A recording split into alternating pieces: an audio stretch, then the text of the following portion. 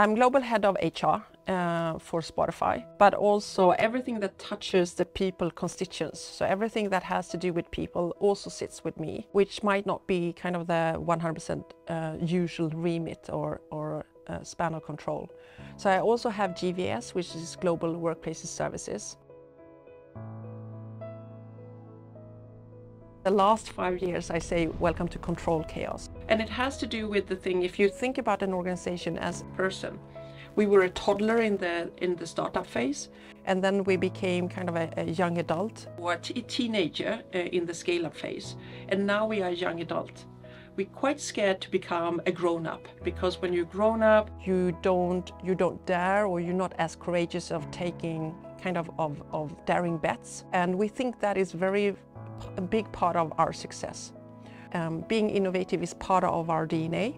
And we also think when people come together and try not to kind of master um, what is planned, you will continue to innovate in a very smart way. And one of our mantras in the band manifesto is also changes are constant. By having a bit of disruption, uh, we can also disrupt the, the business and the in industry.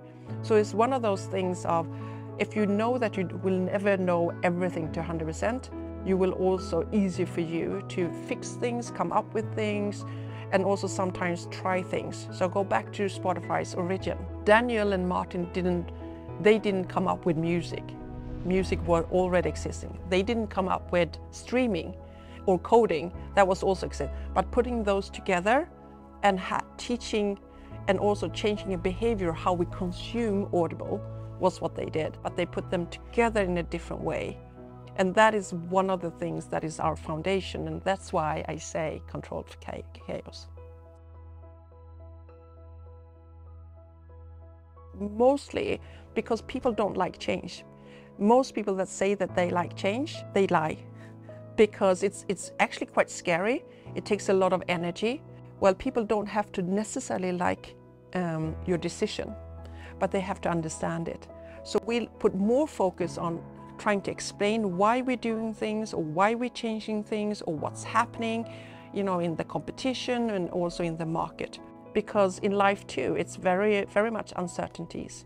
So it's a very deliberate way. It's not that we are lazy and don't want to get all the processes and all things in the right part of, of the cabinet or in, in, in the office. It's more but we think it actually makes people much more prepared for the unknown. So we have something that we is called Unplugged with Daniel, where he talks a bit about what's on top of his mind to everybody, not to to top management. He talks to everybody, and also it opens up uh, with um, questions from all employees. So there's like, in a structured way, there is a communication between all employees where they can ask questions.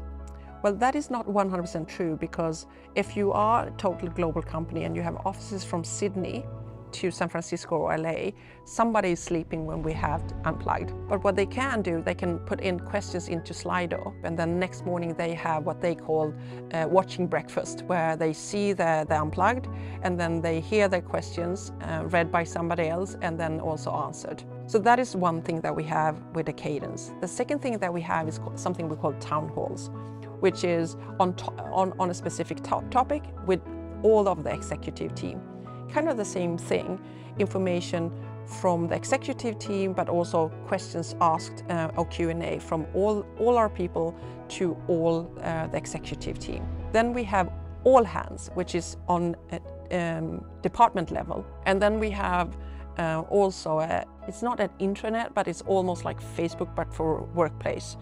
So everybody is urged to put in information so kind of each one teach one. So it's not just managers or top management, it's everybody can put an, anything up there to educate each other what's happening in their part of the world and vice versa.